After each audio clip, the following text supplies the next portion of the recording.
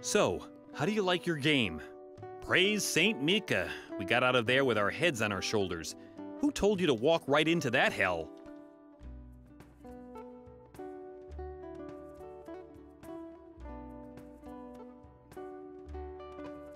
And just who are you hinting at?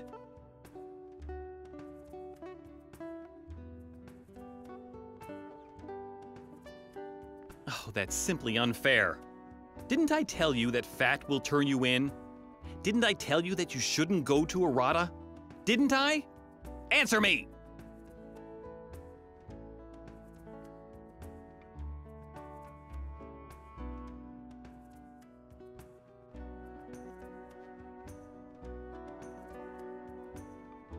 Oh, sure. Blame it on the quest for Rumata. Why don't you tell me now that all the demons in hell made a plot to destroy you and then take over the world? I won't argue that I didn't expect such a turnaround either. But who doesn't make mistakes? And who could have imagined that some brain dead count with his lackey are seeking Rumata as well? Unfortunately for you, you probably won't succeed. And remember to be optimistic. Arata is thinking that Rumata is a god who came down from the skies, right? His Grace, Count Ramon, is also collecting information regarding Don Rumata, but as far as we know, he didn't have much success, right? And can all this be evidence that they also know that Rumata might indeed be a god, so they're seeking him out for this very reason? I'm getting at the point that we actually have a great advantage over them. Because we know where to look for these gods or whatever they might be. Father Kabani, by the way, just said the same thing.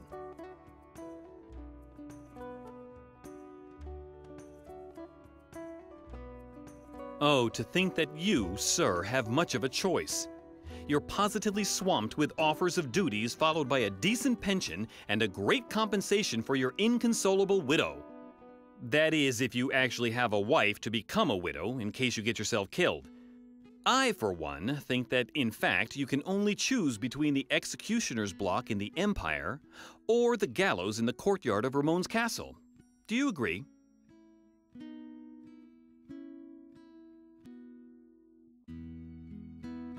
Right. And then no one dares to hurt us.